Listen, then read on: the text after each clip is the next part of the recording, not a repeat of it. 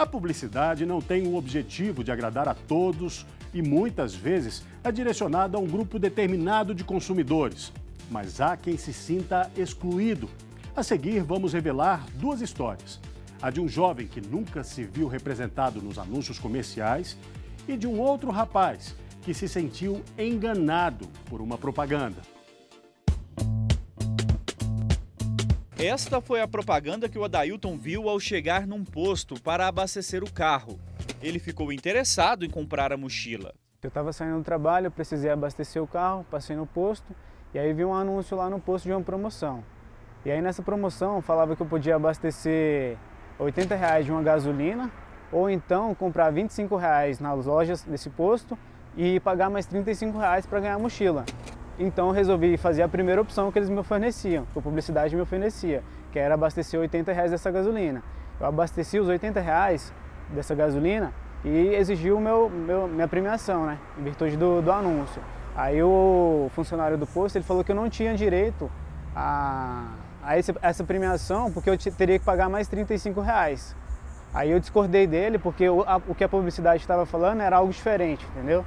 E aí eu pedi para ele chamar o gerente. O gerente chegou para mim, falou que realmente era aquilo e que se eu poderia levar a mochila se eu pagasse mais 35 reais. Aí eu falei para ele que não, o anúncio estava falando algo totalmente diferente do que eles estavam propondo para mim. Vamos ver o anúncio novamente. A publicidade diz: abasteça 80 reais com Shell B-Power Nitro Mais ou compre 25 reais nas lojas Shell Select mais 35 reais e receba a mochila exclusiva.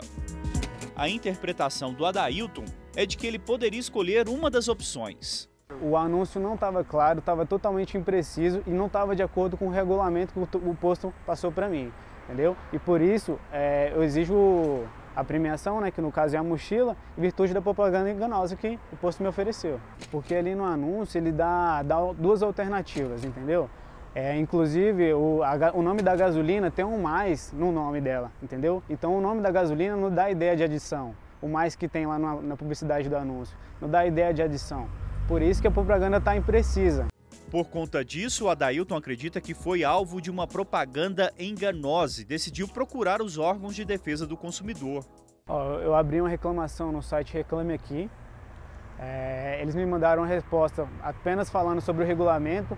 Eu fiz uma réplica para eles, né, explicando a situação da publicidade do anúncio, que segundo a, o Código do, do Consumidor, né, a publicidade tem que estar clara e precisa, tanto em relação à quantidade e à qualidade do, do serviço que eles estão oferecendo.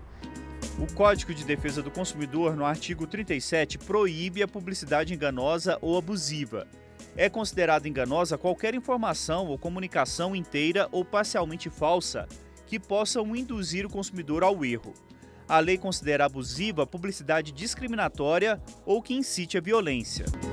O repórter Justiça também ouviu o advogado Israel Mascarenhas sobre o assunto. A propaganda abusiva é considerada quando há algum tipo de incitação à violência, discriminação por alguma questão religiosa, racial, né, e que tem algumas coisas voltadas a, a, prejudicar a saúde do consumidor em si. E a publicidade enganosa? A incitação do consumidor ao erro, seja por alguma característica específica do produto, né, então é, qualidade, alguns ingredientes, e mais especificamente mais em relação ao preço também. Mas não espere que a publicidade seja como uma bula de remédio. A publicidade mexe com diversos outros uh pedaços da realidade do ser humano. E um, um desses pedaços super importantes é a imaginação, que é um limite é, que se coloca sustentado sobre dois pilares, tanto o da ética quanto o da estética. A ética é, exige que o anúncio seja verdadeiro. A veracidade é um dos quatro é, padrões né, exigidos para todos os anúncios. O anúncio tem que ser verdadeiro, o anúncio não pode apresentar uma mentira. Um grande estímulo para que a publicidade se torne apelativa, se torne apelativa é a concorrência.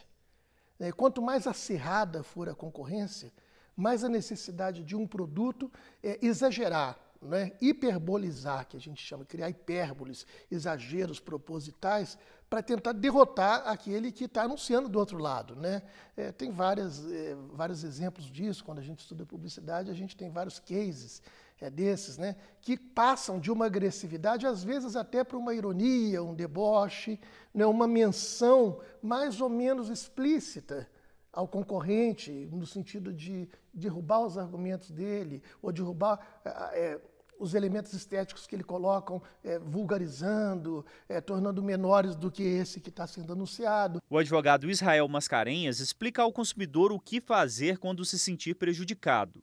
Primeiramente, deve-se procurar o estabelecimento comercial, explicar o, o, o que, que houve, sempre munido de nota fiscal que comprove realmente que ele comprou o produto naquele estabelecimento e que ele tente resolver é, cordialmente, né, falando, olha, eu, eu quero meu dinheiro de volta, ou então eu quero o, o produto mesmo que eu comprei.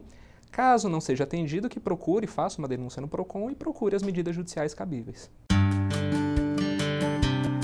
Leonardo nunca buscou a justiça, mas diz que não se sente representado pela publicidade.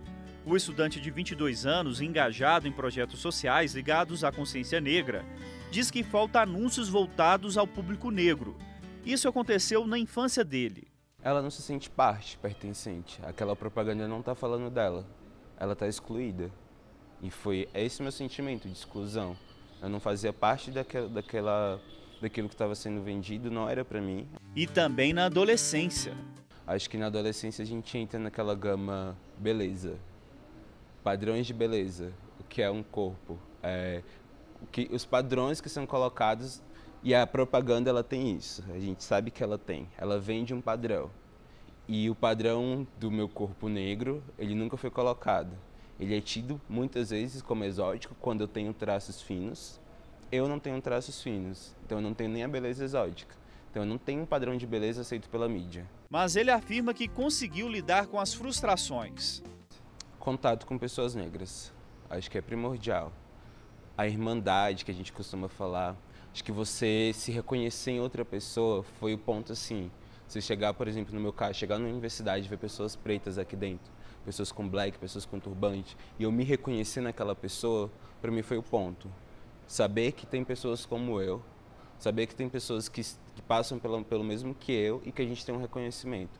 Acho que o primordial para mim foi isso. Eu acho que o que faltou foi mais autores negros, mas com papéis é, sem ser estereotipados, mais propagandas que não fossem estereotipadas e chegar num espaço que você se reconhece outra pessoa é primordial. Foi assim o um ponto. O CONAR explica que qualquer tipo de discriminação é proibida. O nosso código, o Código Brasileiro de Autorregulamentação Publicitária, é claro ao condenar qualquer espécie de discriminação ou preconceito.